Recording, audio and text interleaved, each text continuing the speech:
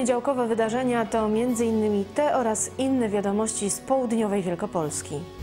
Ostrowianie na rok pożegnali lato. Impreza dla mieszkańców e, miasta Ostrowa Wielkopolskiego. sport przez e, takie tutaj spotkania i festyny, więc jest jak najbardziej dobrym e, pomysłem. No bardzo fajne, są różne atrakcje. Narodowe czytanie zemsty. Nasze społeczeństwo mało czyta. Jest to fantastyczna impreza tu na Ostrowskim Rynku. Jeżeli my zachęcimy bajkami dzieci do czytania książek, to one później będą sięgały po te książki inne. 5 lat WRC Pleszew. Mnóstwo kibiców na odcinkach, e, bardzo fajne załogi. Ten rajd WRC Pleszew tutaj byłby pewnego rodzaju wigilią rajdu Polski. Fantastyczna impreza. Widać jak marzenia i obrany cel i konsekwencje doprowadzają do sukcesu. Poniedziałek, 9 września, Anna Grzesiak, witam, zapraszam na serwis informacyjny. W sobotnie przedpołudnie w całym kraju odbyło się Narodowe Czytanie Zemsty komedii Aleksandra Fredry. Akcję w 2012 roku zainicjował prezydent Rzeczpospolitej Polskiej Bronisław Komorowski. Ostrów Wielkopolski był jednym z miast, które włączyły się do akcji. W tym roku przypada 220. rocznica urodzin Aleksandra Fredry, najwybitniejszego polskiego komediopisarza, poety, autora pamiętników, ale główną ideą była popularyzacja czytelnictwa, z którym mówiąc oględnie nie jest najlepiej. Nasze społeczeństwo mało czyta. E, młodzież mało czyta tyle, co wiem. Raczej siedzi e, w internecie, na Facebooku, a czytanie pomija. Podoba mi się, mogę tu siedzieć jeszcze z dwie godziny, a jeszcze wnuk będzie brał udział, także tym bardziej, nie? Do publicznego czytania zemsty Aleksandra Fredry zaproszeni zostali m.in. radni Sejmiku Wojewódzkiego, samorządowcy, dyrektorzy, uczniowie, mieszkańcy oraz dziennikarze. Wśród nich Ewelina Wiertelak, redaktor naczelna portalu WLKP24.info. To zdjęcia z przygotowań do tego wydarzenia, które trwały już od tygodnia. Jak się pan czuje w tym stroju? A ten strój udowadnia jedno, że Beduini mają rację. Czym więcej na sobie, tym więcej można wytrzymać e, zupełnie lepiej niż w koszuli i w garniturze e, w takie, przy takiej pogodzie. Jest dobrze. Jak słyszymy, dla jednych zemsta była świetną okazją do przypomnienia sobie tego utworu literackiego, dla drugich najlepszą okazją do jej posłuchania. Jedni i drudzy pomysł uważają za bardzo udany. Biorąc pod uwagę fakt, że i pogoda dzisiaj dopisuje i no, bardzo dobra inicjatywa pana prezydenta Rzeczpospolitej, czytanie mm, utworu Fredry z okazji jego urodzin 20. rocznicy. Jest to fantastyczna impreza tu na Ostrowskim Rynku. Myślę, że część osób, które zgromadziła się, no, przeżywa coś, co na co dzień właściwie jest niespotykane. Myślę, że każda inicjatywa, która prowadzi do popularyzacji czytania jest dobra. Sam po sobie widzę, że coraz trudniej jest mi się znaleźć czas do, na poczytanie książki. Dla mnie ta okazja jest właśnie do, do powtórzenia całej zemsty. Przeczytałem ją od dechy do dechy, jak dostałem ten egzemplarz. Narodowe czytanie odbyło się także w Odolanowie. Tu akcję podzielono na dwie części. Z podziałem na role przeczytano śluby panieńskie, a także przypomniano najmłodszym najpiękniejsze bajki Fredry, jak Paweł i Gabeł, Małpka w kąpieli czy Osioł.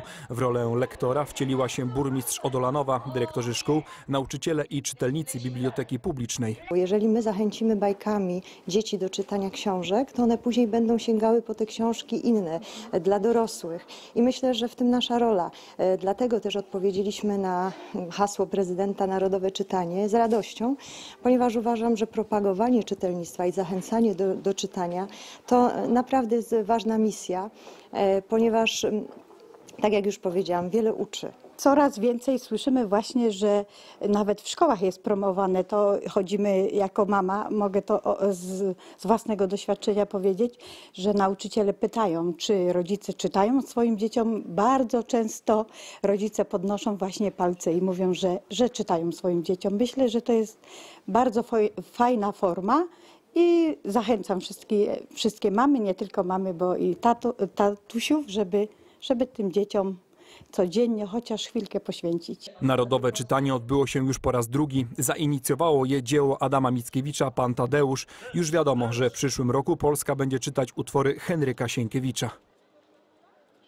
A teraz w wydarzeniach czas na rozstrzygnięcie konkursu. W piątkowym serwisie pytaliśmy, do jakiego rodzaju literackiego należy Zemsta Aleksandra Fredry. Odpowiedź brzmi dramat. Lista nagrodzonych osób dostępna jest na stronie internetowej wlkp24.info oraz na stronie telewizji ProArt. Nagrody można odbierać od wtorku do piątku w godzinach od 9 do 16 w siedzibie telewizji ProArt przy ulicy Wolności 19. Zmieniamy temat. Jeszcze nigdy w historii Ostrowskiej Piaski nie pożegnały lata tak hucznie jak w minioną sobotę. Tłumy mieszkańców i gości, atrakcji co niemiara i biesiada do białego rana. Żegnamy lato na rok. To inicjatywa grupy kapitałowej Holdicom. Współorganizatorem festynu był Urząd Miasta Ostrowa Wielkopolskiego. Partnerem medialnym byli telewizja ProArt i portal wlkp24.info. Program rozpoczął się punktualnie o 15. Na boisku zaprezentowały się ostrowskie drużyny ligowe, koszykarki i koszykarze, piłkarze ręczni oraz żużlowcy. Taka prezentacja drużyn sportowych w jednym miejscu i w tym samym czasie odbyła się po raz pierwszy. To jednak nie koniec sportowych niespodzianek. Gościem specjalnym był Tomasz Jędrzejak, indywidualny mistrz Polski na żużlu w 2012 roku. Na Piaskach gościła też wielokrotna medalistka Mistrzostw Polski w boksie Marta Preissner. Promowanie sp- e, sport przez e, takie tutaj spotkania i festyny, więc jest jak najbardziej dobrym e, pomysłem. E, Tak jak powiedziałem, my, my sport jest dla, dla, dla kibiców i dzisiaj mają okazję zobaczyć nas troszeczkę z innej perspektywy. Uważam, że jest to bardzo dobry pomysł. Cieszymy się, że właśnie dzisiaj jest połączone to z takim fajnym festynem, gdzie żegnamy to lato i że spotkali się i piłkarze, i koszykarze, no i my koszykarki. Wzdłuż całej polany przygotowano mnóstwo atrakcji, szczególnie najmłodsi na nudę narzekać nie mogli. Specjalnie z myślą o nich zorganizowano specjalną strefę warsztatową, garncarstwo, recykling i zajęcia plastyczne. Dużym zainteresowaniem cieszyło się stoisko Muzeum Papiernictwa w Dusznikach Zdroju. Każdy chętny mógł poznać tajniki czerpania papieru. Jest bardzo e, dużo chętnych. E, każdy może własnoręcznie e, wykonać e, papier za pomocą właśnie specjalnego sita, tak jak dawniej, jak to właśnie w średniowieczu e, bywało. Tyle, że zmienił się surowiec, bo dawniej taki papier był produkowany ze szmat, czyli ze starej, znoszonej odzieży. E, no dzisiaj tym surowcem jest już e, celuloza, którą pozyskuje się z drewna. Nieco dalej scena, na której podziwiać mogliśmy występy najmłodszych Ostrowian. Był też pokaz magii w wykonaniu maga Carlosa. Dmuchamy, mówimy abracadabra i rozwijamy gazetę. Poza tym pokazy sprzętu strażackiego i ratowniczego. Nie lada gratka czekała na tych, którzy zajrzeli na pokaz zabytkowych i rajdowych aut. Wszystkie mają sobie coś ciekawego, aczkolwiek mamy jedno tutaj takie autko, które jest w oryginalnym stanie, nierestaurowane bodajże od 56 roku, także za, myślę, że za chwilę właściciel nam o nim opowie kilka słów. To jest Mercedes e, z roku 59. Jest to model 190 SL, kabriolet. E, Całą jakby unikatowością tego pojazdu jest to, że jest w oryginalnym stanie. Od nowości nigdy nie naprawiany, nigdy nie malowany. No i to stanowi jego jakąś tutaj wielki plus. Po raz pierwszy na piaskach stanęła prawdziwa indiańska wioska Pocahontas. Taka prawdziwa wioska indiańska, tak jak widać, biegamy na bosaka, mamy cały strój indiański. E, również nasz wódz uczy nas troszeczkę e, słówek i hiszpańskich i z tego kraju, z którego pochodzi. Staramy się wprowadzać tradycje e, indiańskie i w swoje życie, i w życie młodych dzieci, które po prostu przychodzą do nas. Czasami przychodzą i grupy starsze. Bardzo fajnie, bardzo ciekawie. Na pewno jest dla dzieci urozmaicenie e, i super przeżycie, nie?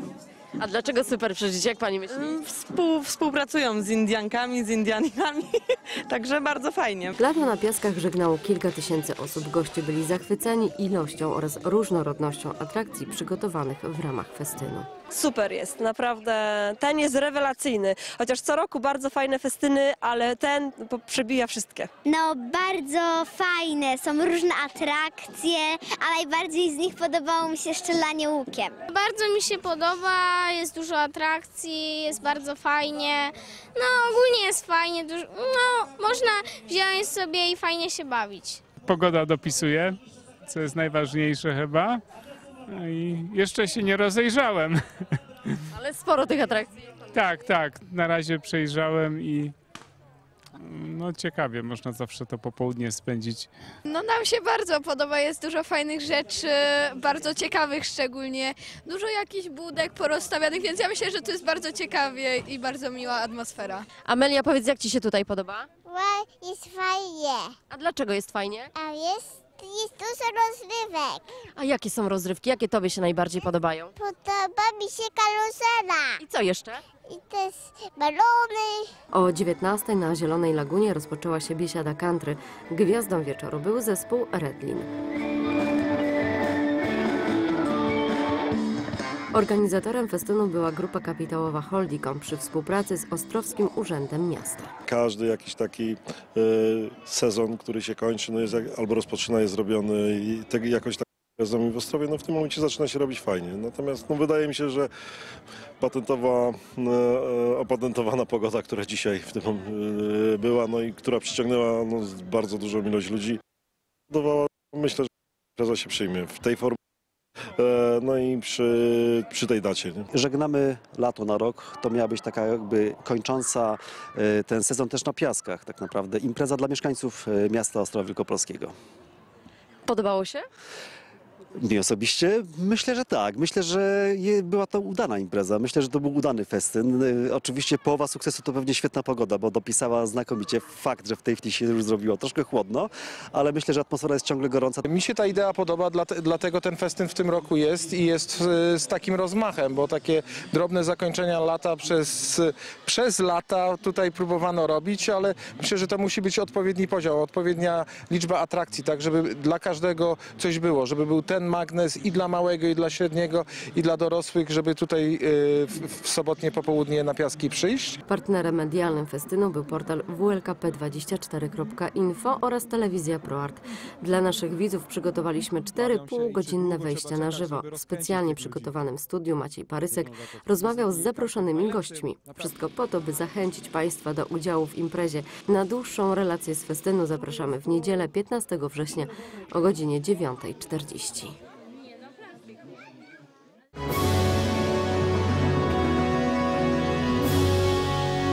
Pleszew. W środowisku rajdowym takie imprezy nazywane są często pogardliwie rajdami wokół Trzepaka. Fanatic Real Time, organizowany w miniony weekend w Pleszewie, przeczy wszystkim stereotypom. Dwa dni ścigania zarówno po bezdrożach, jak i wymagających technicznych odcinkach specjalnych. Do tego pokaz mody, motoryzacyjne show i muzyczne gwiazdy. Weekend w Pleszewie spędziły także nasze kamery. Oto relacja autorstwa Tomasza Wojciechowskiego. Trzy dni po brzegi wypełnione motorsportem. Wszystkie rajdowe drogi prowadziły w miniony weekend do wielkopolskiego Pleszewa. Na początek pokazowe cross country w Gizałkach, czyli kurz, brud i emocje. Miłośnicy podrasowanych pick-upów i łazików przystosowanych do jazdy w ekstremalnych warunkach mogli podziwiać gwiazdy światowego cross country, a wśród nich załogę w Hamerze Mirosława Zapletala i Macieja Martona, Klaudię Podkalicką czy Martina Kaczmarskiego w swoim mini. Dla mnie są to wakacje, także, także tutaj się mi bardzo podoba. Jestem zadowolony, że są, że są tady na rajdzie. Jest to dla mnie takie miejsce, w którym mogę odetchnąć. E, Pleszę, przyjechałem spo- spotkać się z przyjaciółmi, e, pogadać o starych Polakach. Tutaj jest to bardziej takie święto rajdów, taka bardziej, bardziej, bardziej show. Oczywiście jest część rajdowa, e, to jest prawie 100 km OS-owych. Był to jednak przedsmak tego, co na zawodników i kibiców czekało w sobotę. Zapletal co prawda nie wystartował, ale w specjalnie przygotowane trasy wyruszyli inni zawodnicy głodni rywalizacji. Ci, którzy najpierw wystartowali, potem odwiedzili malownicze zakątki powiatu pleszewskiego i w końcu przecięli linię mety, nie mogli narzekać na brak emocji. Bardzo fajny był ten opis, cała trasa się zgadzała z opisem. Do 120-125 żeśmy osiągali na niektórych partiach.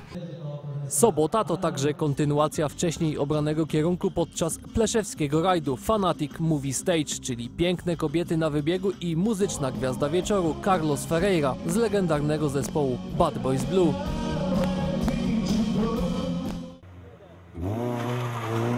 Niedziela to już popularny w całej Polsce KJS, czyli konkursowa jazda samochodowa. Cztery odcinki specjalne przyciągnęły blisko 70 załóg. Kierowcy i piloci mogli pokazać szerszej publiczności swoje motoryzacyjne talenty na OS-ach w Marszewie i przy ulicy Kolejowej w Pleszewie. Nowością w tym roku były ciekawe odcinki przy pleszewskich młynach. Na każdym z nich z dobrej strony prezentowali się zawodnicy ostrowskiej grupy rajdowej, których wcale nie najszybsze samochody kręciły często najlepsze czasy na OS-ach. Widowiskowa jazda załóg podpatrywana była przez wiele kamer. Takie tłoki mamy w silniku właśnie, dokładnie takie. Jednego wzięliśmy w rezerwie.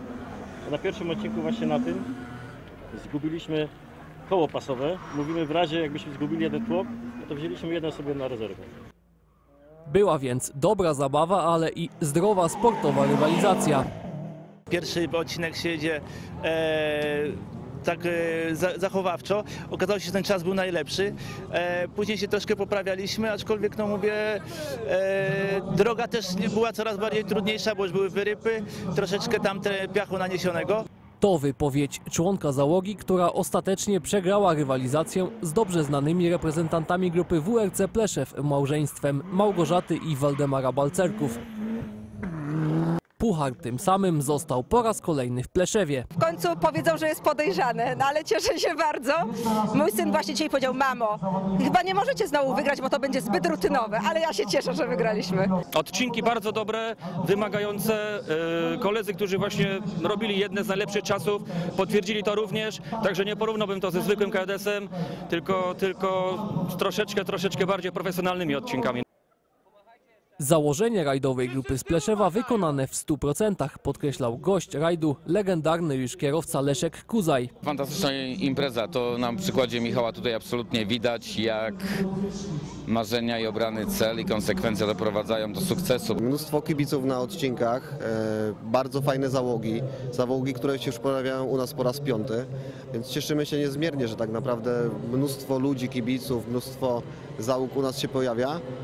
Miejmy nadzieję, że nie zabraknie nam energii, żebyśmy realizowali to dalej. Uderzyła mnie ta zbieżność terminów e, rajdu WRC Pleszew e, z e, rajdem, który będzie rozegrany za tydzień w Mikołajkach, rajdem do Mistrzostw Europy, do Mistrzostw Polski, do Mistrzostw Litwy, mianowicie z największą polską imprezą samochodową rajdem Polski. I tak no, nasuwa mi się pewnego rodzaju jakieś takie skojarzenie, że ten rajd WRC Pleszew tutaj byłby pewnego rodzaju wigilią rajdu Polski.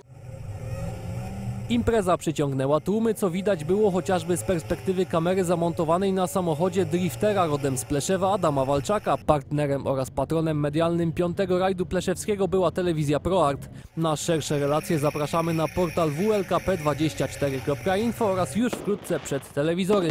Oczywiście na antenie telewizji ProArt.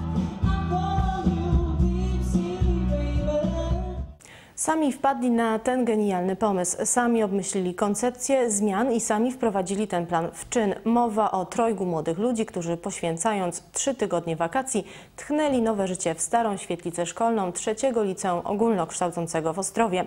Teraz pokazali imponujący efekt swojej pracy pozostałym uczniom tej szkoły. Nowo wyremontowana świetlica w Ostrowskim trzecim LO podzielona jest na dwie części. Połowę urządzoną w stylu wygodnego i nowoczesnego resting roomu, w którym funkcje kanap pełnią wyszlifowane, pokryte tapicerowaną pianką i zarzucone kolorowymi poduszkami europalety. Druga to powrót do przeszłości. Jedna część ma symbolizować, ta kolorowa, ma symbolizować nas, e, uczniów, którzy aktualnie są w szkole. E, Część e, stara e, z ławkami ze strychu ma symbolizować ludzi, którzy tutaj chodzili. Jest to zrobione przede wszystkim z okazji 60-lecia szkoły. Za rok, równy rok, bo w roku 2014 szkoła będzie obchodziła jubileusz 60-lecia istnienia. Planujemy zorganizować dużą imprezę dla naszych 12 tysięcy absolwentów. Świetlica jest więc częścią większego projektu. Te kolorowe ramki wiszące w części współczesnej mają wypełnić zdjęcia poszczególnych klas. W części sentymentalnej z kolei wiszą fotografie ze studniówek i wycieczek z dawnych lat. W drugiej części mamy y, odrestaurowaną y, starą salę lekcyjną. Wystawiono stare, odnowiono stare ławki, y, wystawiono starą tablicę, meble. Y, No i to będzie dla tych, którzy tutaj przyjadą i powspominają, że właśnie w takich ławkach jeszcze z kałamarzami siedzieli w tej szkole. Przy remoncie świetlicy pracy było sporo, tym bardziej, że prawie wszystko robiły trzy osoby, poświęcając na szkolny remont trzy ostatnie tygodnie wakacji. Trzy osoby i przyjaciele, można tak powiedzieć, wspierali, wspierali nas uczniowie też, ale to było drobna pomoc, tak jak malowanie ławek, a, a tak naprawdę resztę robiliśmy sami w trójkę. Podłoga i ściany były zmienione przez fachowców, reszta mm, szlifowanie palet, obijanie, było wszystko robione przez nas. Koszty niezbędnych zakupów pokryła Rada Rodziców. Na początku wyłożyliśmy coś od siebie, później otrzymaliśmy zwrot ze szkoły, także jakieś tam wsparcie na pewno było. Wspierano nas też codziennymi posiłkami, także mieliśmy codziennie pizzę, także miło było tutaj pracować. A skąd wziął się sam pomysł na remont? Właściwie znikąd, mówi Asia, autorka koncepcji. Siedziałam tutaj i ciągle słyszałam na przerwie takie narzekania, że kurczę, jak to jest strasznie, ale nikt, tym, nikt z tym nic nie robił, więc postanowiłam to zmienić. W piątek uczniowie trzeciego liceum efekty pracy kolegów mogli podziwiać po raz pierwszy. Podobało się wszystkim, zwłaszcza gdy przypomnieli sobie dawne, mało ciekawe wnętrze świetlicy. Stało puste, ogólnie nic nie można było robić, tak bardzo ponuro było, teraz jest tak bardziej kolorowo. Jest naprawdę bardzo duży progres, bardzo mi się podoba. Tobie jak się podoba? Też bardzo mi się podoba, w ogóle świetny pomysł Kasi był. Bardzo nowocześnie zrobiony. Co Tobie się najbardziej podoba tutaj w tym wystroju? Mm, sama nie wiem, według mnie wszystko jest super, e, ale chyba najbardziej te palety. Myślę, że Kasia się popisała na pewno i włożyła w to dużo pracy, jest naprawdę fajnie. Na razie w świetlicy pachnie nowością, ale z czasem na ścianach mają pojawiać się nowe zdjęcia, na półkach z Europalet książki, a na parapetach kwiaty. Zarówno wykonawcy projektu, jak i pani dyrektor mają nadzieję, że żadnemu z uczniów nie przyjdzie do głowy, by niszczyć pracę kolegów. Na dziś to wszystko, ja już się z Państwem żegnam. Do zobaczenia jutro.